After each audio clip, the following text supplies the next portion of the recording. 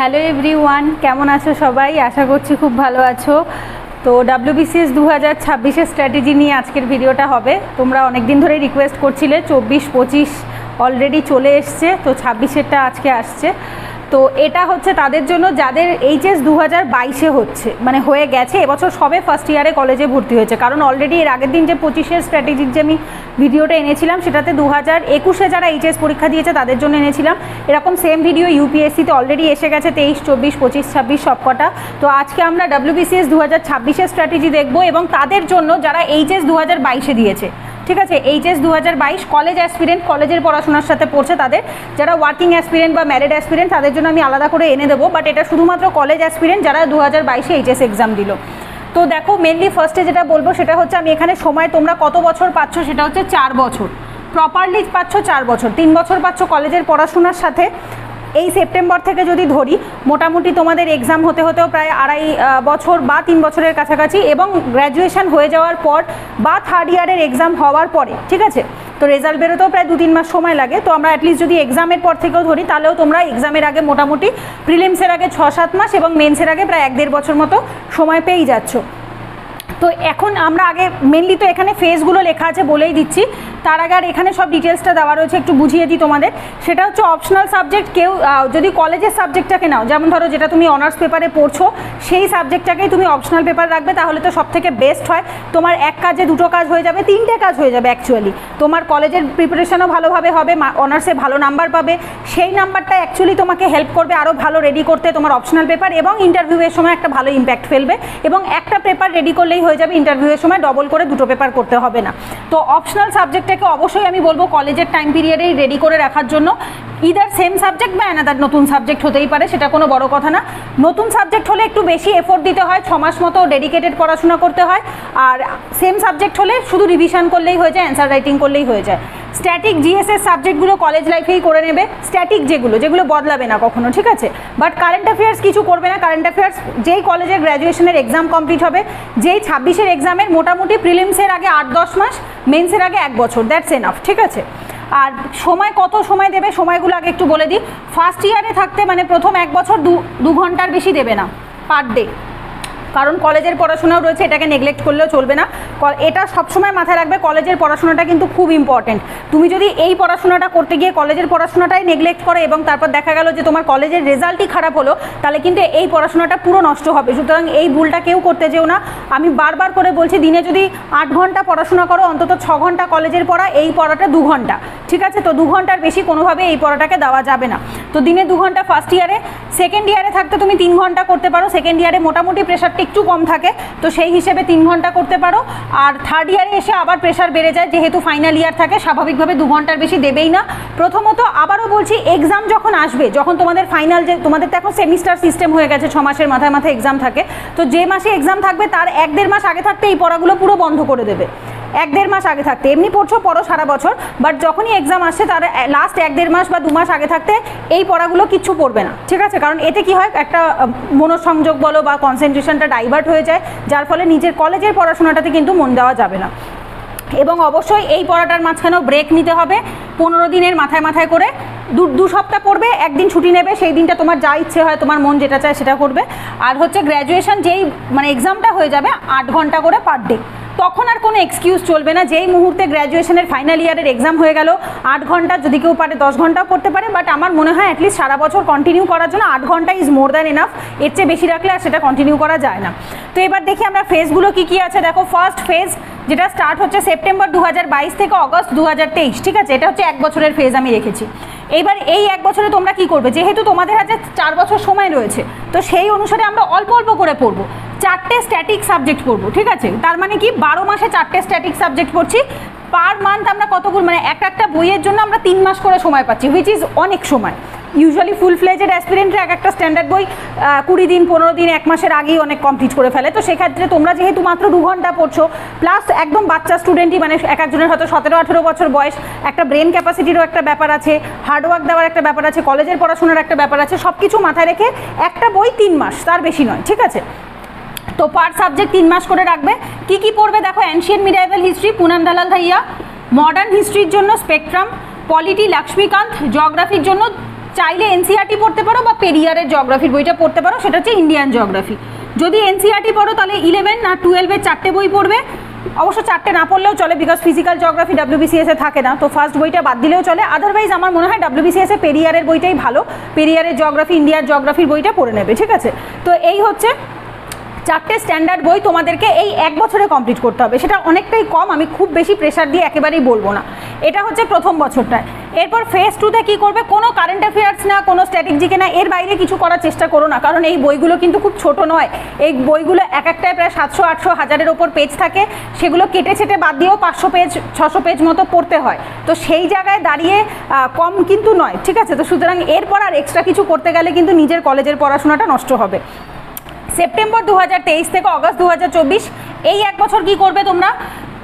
দু ঘণ্টা করে এখানে যেহেতু আমি তিন ঘণ্টা রেখেছি মানে সেকেন্ড ইয়ার পরের বছরটাতে যেহেতু আমি তিন ঘণ্টা পড়ার জন্য বলেছি, তো স্বাভাবিকভাবে দু ঘণ্টা জিএসএস সাবজেক্টকে পড়বে এবং এক ঘণ্টা ম্যাথ করবে। ডেলি এক ঘণ্টা ম্যাথ করবে। ম্যাথকে কেউ নেগলেক্ট করো না। ডাব্লিউবিসিএসে প্রিলিমসে হয়তো কম থাকে রিজনিংটা বেশি থাকে ঠিকই বাট মেন্সে কিন্তু দুশো নাম্বার পেপারের মধ্যে একশো রিজনিং একশো ম্যাথ তো স্বাভাবিকভাবে এবং যত দিন যাচ্ছে টাফনেস কিন্তু বাড়ছে। তো এক বছর টানা ডেডিকেটেডলি কেউ এক এক ঘণ্টা ডেলি এক ঘণ্টা করে যদি ম্যাথ করে, তাহলে কিন্তু মোর দ্যান এনাফ ঠিক আছে? তো অবশ্যই কিন্তু এক ঘণ্টা করে করবে। এবার আর একটা কথা বলি, এই যে পার ডে পার ডে লিখেছি, তার মানে এই নয় যে তুমি সপ্তাহের একটা, দুটো দিন ছুটি নিতে পারবে না, এরকমটা নয়। হ্যাঁ অনেকেই থাকে, সোম থেকে শনি পরে রবিবারটা ছুটি রাখে পড়তেই পারো, বা সোম থেকে শুক্র ভালো করে পড়ে শনি, রোববার রিভিশন করবে এবং হালকা রুটিন রাখবে, তাও করতে পারো। রুটিন তুমি তোমার মতো করে বানিয়ে নেবে। জাস্ট একটা আইডিয়া দেওয়ার জন্য বানিয়ে দেওয়া, হুবহু ফুল ফলো করার কোনো প্রয়োজন নেই, নিজের মতো করে মডিফাই করে নেবে। আচ্ছা এই সময় আমরা কি কোন কোন সাবজেক্ট পড়ব? আমরা তিনটে জিএসএস সাবজেক্ট পড়ব। কারণটা কি? এখানে যে জিএসএস সাবজেক্টগুলো রয়েছে, তার ভেতর বেশ বড় বড় সাবজেক্ট রয়েছে। নামেই হয়তো তিনটে বার তার বেশিই রয়েছে। কি কি দেখো? ইকোনমি যথেষ্ট কঠিন একটা সাবজেক্ট অনেক ছেলেমেয়েরাই বোঝে না, যাদের ইকোনমির ব্যাকগ্রাউন্ড নেই, তারা অনেকেই টাফ বলে। তো স্বাভাবিকভাবে ইকোনমি পড়বে। এবার কি কি বই থেকে পড়তে পারো? নিতিন সিংহানিয়া স্যারের বইটা ডাব্লিউবিসিএস এর জন্য খুব ভালো। ইউপিএসসি হলে শ্রীরাম আইএস এর বইটা আমি নিজে পার্সোনালি পড়ি আদারওয়াইজ এনসিআরটি এনসিআরটি অবশ্যই পড়বে যদি বেসিক কনসেপ্ট ক্লিয়ার না হয়। ম্যাক্রো ইকোনমিক এনসিআরটিটা হচ্ছে বেসিক কনসেপ্ট ক্লিয়ারের জন্য এবং তার সাথে হচ্ছে নিতিন সিংহানিয়া স্যারের বইটা। এটা ডাব্লিউবিসিএসের জন্য বেটার ওয়েস্ট বেঙ্গল জিওগ্রাফির জন্য কোন বইটা পড়বে? Know your state West Bengal ঠিক আছে? এখান থেকে জিওগ্রাফি আর ইকোনমির যে পোর্শনটা রয়েছে, সেটা অবশ্যই পড়বে জিওগ্রাফি সেকশনের জন্য। আর হচ্ছে জেনারেল সায়েন্সে কি রয়েছে? এনসাইক্লোপিডিয়া অফ জেনারেল সায়েন্স আরিয়ান্তের এবার এই জেনারেল সায়েন্সের মধ্যে আমাদের তিনটে সাবজেক্ট পড়ে ফিজিক্স কেমিস্ট্রি বায়োলজি এবং ইটসেলফ যে সাবজেক্টগুলো আর্টস ব্যাকগ্রাউন্ডের ছেলেমেয়েদের কাছে যথেষ্ট টাফ সায়েন্সদেরকে খুব বেশি এফোর্ট দিতে হয় না হয়তো বাট আর্টসদের ছেলে আর্টস ছেলেমেয়েদের কাছে কিন্তু খুব চাপের লাগে। তো সেই জায়গায় দাঁড়িয়ে এইখানে অলরেডি তিনটে সাবজেক্ট হয়ে যাচ্ছে। তো যার জন্য এখানে আমি সাবজেক্টটা কম রেখেছি। ইকোনমিও টাফ সায়েন্সের সাবজেক্টও অনেকটা টাফের মধ্যেই পড়ে। তো স্বাভাবিকভাবে এই তিনটের বেশি আর করে সময়ও পাবে না। কারণ তুমি দিনে দু ঘণ্টার বেশি জিএস পড়ছো না? তো এর চেয়ে বেশি সম্ভব নয়, আর এক ঘণ্টা করে ম্যাথ করবে। কখন করবে আবারও বলছি, সবসময় এটা চেষ্টা করবে কলেজের পড়াশোনাটাকে প্রায়োরিটাইজ করে। এই পড়াটা অল্প অল্প করে, যখন ধরো কলেজের পড়াটা পড়ে তুমি টায়ার্ড হয়ে গেছো বোরিং লাগছে, একই সাবজেক্ট পড়ে যাচ্ছ, ভালো লাগছে না, তখন চেষ্টা করবে সকালবেলা, ধরো তিন ঘণ্টা তুমি কলেজের পড়া পড়লে, তার সাথে এক ঘণ্টা ম্যাথ করে নিলে। বিকেলবেলা দু ঘণ্টা জিএস পড়লে, পড়ে তারপর যখন জিএস পড়াটা হয়ে গেল, তখন তুমি বিকেলের তোমার যে কলেজের পড়াটা থাকল অনার্সের পেপারে সেটা পড়লে। তো এইভাবে করে একটু অল্টারনেট করে পড়বে, তাহলে আমার মনে হয় বেটার হবে। এরপর আসব ফেজ থ্রি যেটা হচ্ছে সেপ্টেম্বর দু হাজার চব্বিশ থেকে অগস্ট দু হাজার পঁচিশ। তো এই এক বছর তোমরা কি কি করবে দেখো? মোটামুটি কীভাবে বলছি? কারণ হচ্ছে অগাস্ট দু হাজার পঁচিশ রেখেছি তো। তোমাদের হয়তো ফাইনাল ফাইনাল ইয়ারের এক্সাম তার আগে হয়েও যেতে পারে। ইউজুয়ালি আমাদের সময় তো মার্চ মাসেই হয়ে যেত। এখন কোন মাসে আমি হয় এক্স্যাক্টলি আমি জানি না। হয়তো মেবি জুন জুলাইয়ের মধ্যে হয়ে যায়। রেজাল্ট অগাস্টের অনেক আগেই বেরিয়ে যায়। তো স্বাভাবিকভাবে যেই মুহূর্তে তোমার এক্সাম হয়ে যাবে, এটা অগাস্টের আগেও হতে পারে, ঠিক আছে? এটা তুমি তোমার মতো মডিফাই করে নেবে। তো সেই মুহূর্ত থেকে তুমি সময়টা বাড়িয়ে দেবে। আমি এখানে জাস্ট একটা অ্যাভারেজ রেখেছি, মোটামুটি এক বছর মতো রেখেছি, হয়তো অগস্টের আগেই হয়ে যাবে তোমাদের এক্সাম জুন, জুলাইয়ে। তো তারপর থেকে তোমরা দিনে ছ থেকে আট ঘণ্টা মতো পড়বে। তো এই সময় কি কি করবে দেখো? প্রথম যখন তোমার কলেজের পড়ার প্রেশার আসছে, দেখো থার্ড ইয়ার এমনি প্রেশারের ইয়ার থাকে, অনেক বেশি চাপ থাকে যেহেতু ফাইনাল ইয়ার হয়, তো স্বাভাবিকভাবে আমি এই ইয়ারে তোমাদের চাপ দেবই না বা দেওয়াটা উচিতও নয়। অবজেক্টিভ ইংলিশ পড়বে এক ঘণ্টা। এটা খুব বেশি চাপের নয়, ঠিক আছে? এই জিএসএস সাবজেক্ট মনে করাটা যতটা বেশি কঠিন, তো তার থেকে অবজেক্টিভ ইংলিশ পড়াটা অনেক সোজা synonym antonym idiom one word এগুলো করে পড়তে থাকবে। একদিনে এক ঘণ্টা করেও পড়বে, নিজের পড়ার সাথে সাথে যখন ধরো ভালো লাগছে না, তখন একটু অবজেক্টিভ ইংলিশ পড়ে নেবে। স্ট্যাটিক জিকে এটাও এক ঘণ্টা করে পড়তে থাকবে। এই যখন লিখেই দিয়েছি থার্ড ইয়ারের পরীক্ষাটা যতদিন না হচ্ছে ততদিন অবধি তুমি এইগুলোই পড়বে, ঠিক আছে? যে অবজেক্টিভ ইংলিশ ডেলি এক ঘণ্টা এবং স্ট্যাটিক জিকে ডেলি এক ঘণ্টা, দু ঘণ্টা যে পড়বে তার ভেতর এইগুলো পড়বে। কেন বলছি? মোটামুটি তোমার জিএস কিন্তু সিলেবাস কমপ্লিট বড় সিলেবাস যেগুলো, বড় সাবজেক্ট যেগুলো, সেগুলো মোটামুটি হয়ে গেছে। বাকি রয়েছে অবজেক্টিভ ইংলিশ আর হচ্ছে তোমার স্ট্যাটিক জিকে এই দেখো এখানে আমি লিখেই রেখেছি কম্পিটিটিভ এক্সাম ঠিক আছে?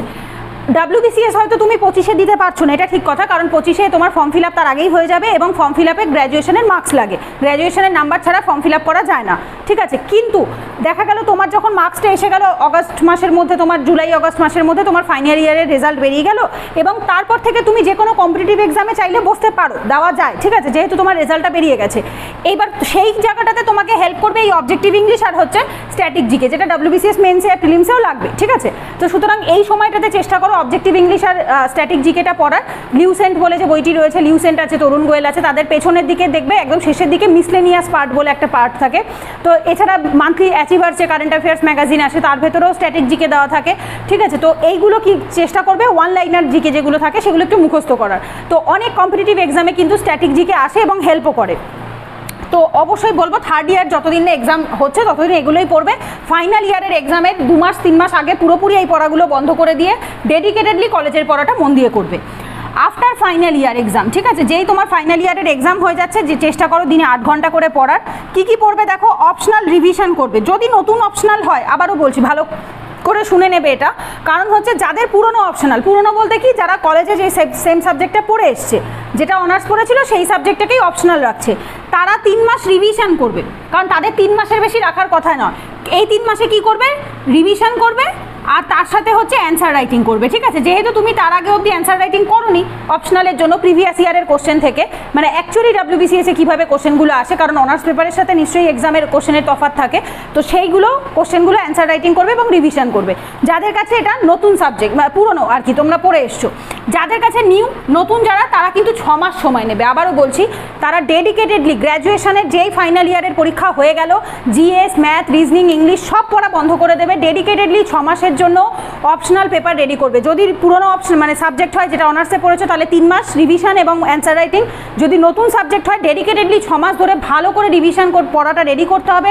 প্রথম তিন থেকে চার মাসে রেডি করবে, তারপরে তিন থেকে চার মাসে প্র্যাকটিস করতে থাকবে, ঠিক আছে? বা চাইলে দুটো একসাথেও করতে পারো, সকালে পড়া, বিকেলে লেখা, এভাবে করেও করা যায়।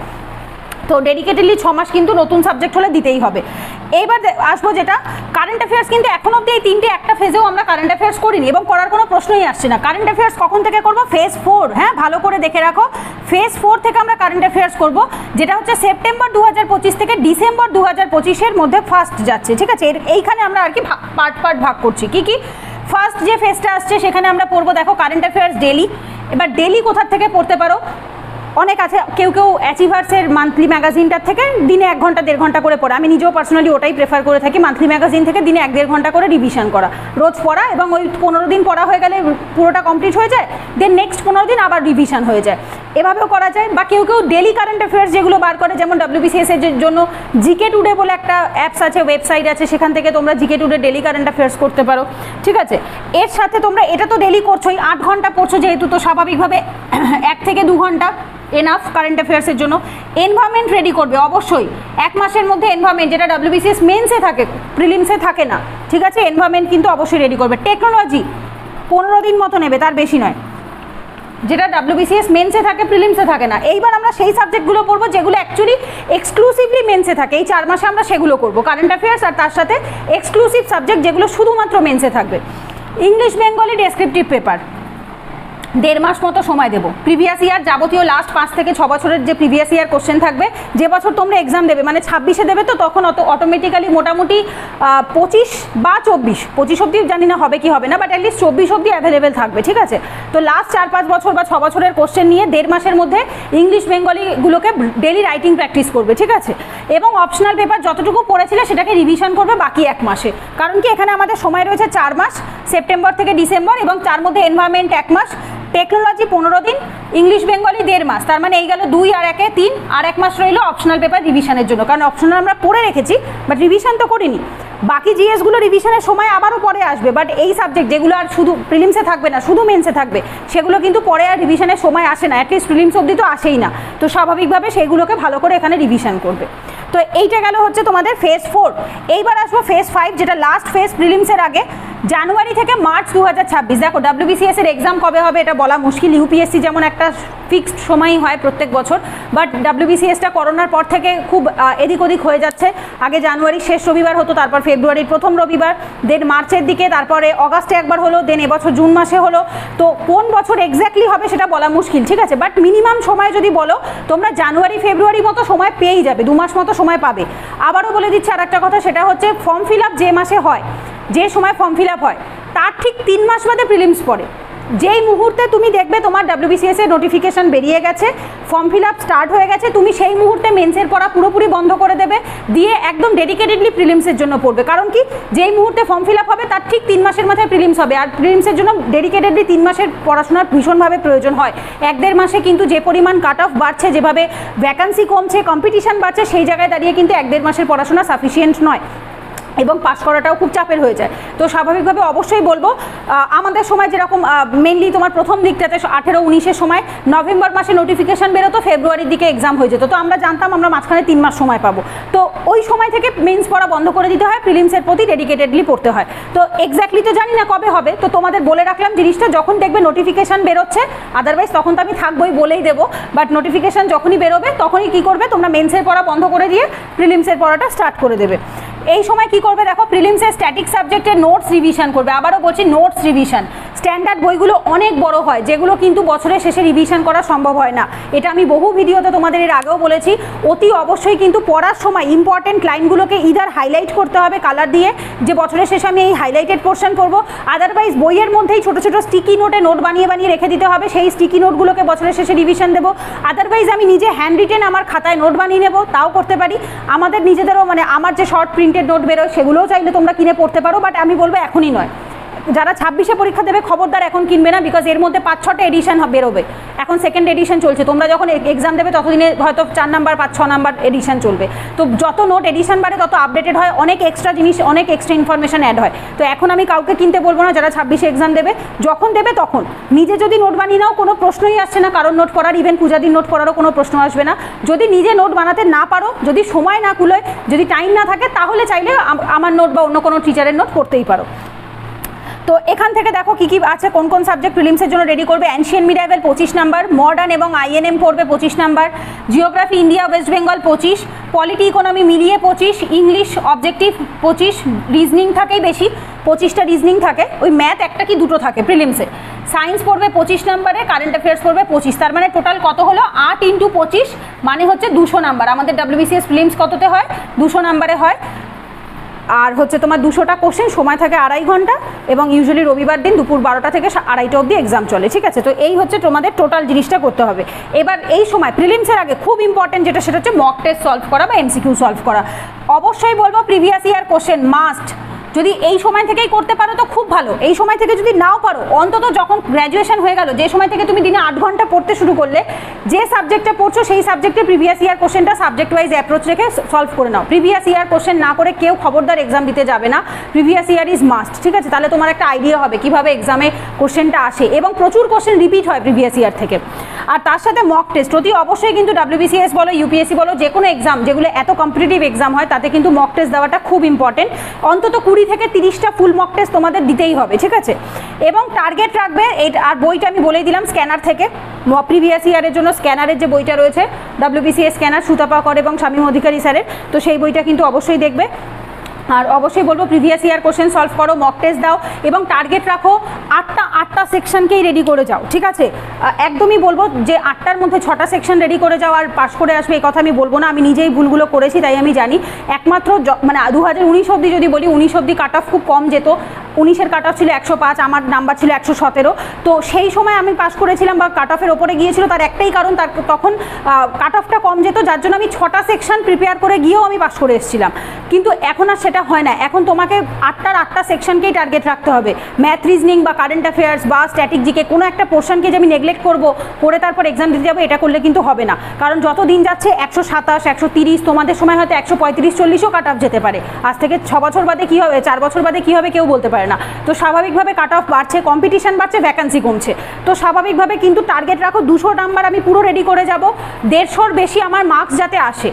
আমি একশো সত্তর আশিটা কোশ্চেন সলভ করব, আমার মার্কস যাতে ওয়ান ফিফটি প্লাস থাকে এবং এটা একদিন দুদিনে হবে না। এটা মক টেস্ট দিতে দিতে তোমাকে রেডি করে নিতে হবে। যে আমি মক টেস্টেই এই টার্গেটটা রাখব যাতে আমার এক্সামে গিয়ে ভালো নাম্বারটা চলে আসে, ঠিক আছে? তো এই হচ্ছে টোটাল স্ট্র্যাটেজিটা আমি বলে দিলাম। আশা করছি তোমাদের যাবতীয় যা কোয়ারি ছিল স্পেশালি এই এই রিকোয়েস্টটা প্রচুর এসছে যারা দু হাজার বাইশে এক্সাম দিয়েছে এইচএস দিয়েছে, তাদের ডাব্লিউবিসিএস স্ট্র্যাটেজির ভিডিও দেওয়ার জন্য। তো আশা করছি তোমাদের ভিডিওটা থেকে হেল্প হয়েছে।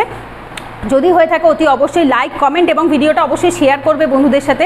যারা ডাব্লিউবিসিএস এর প্রিপারেশন নিতে চায় বা ভবিষ্যতে নেবে, তোমাদের সাথে পড়ছে তোমাদের বন্ধুরা। তো আশা করছি তাদের হেল্প হবে। তো এই ভিডিওটা আর বড় করলাম না। পরের ভিডিওতে দেখা হচ্ছে। তোমাদের যদি কোনো রিকোয়েস্টেড টপিক থাকে কমেন্টে জানাতে পারো। আমি যদি ভিডিওটা এতদিন অবধি না বানিয়ে থাকি, আমি ডেফিনেটলি বানিয়ে দেবো। তো চলো পরের ভিডিওতে দেখা হচ্ছে। ততক্ষণ সবাই সাবধানে থেকো, ভালোভাবে থেকো। টাটা।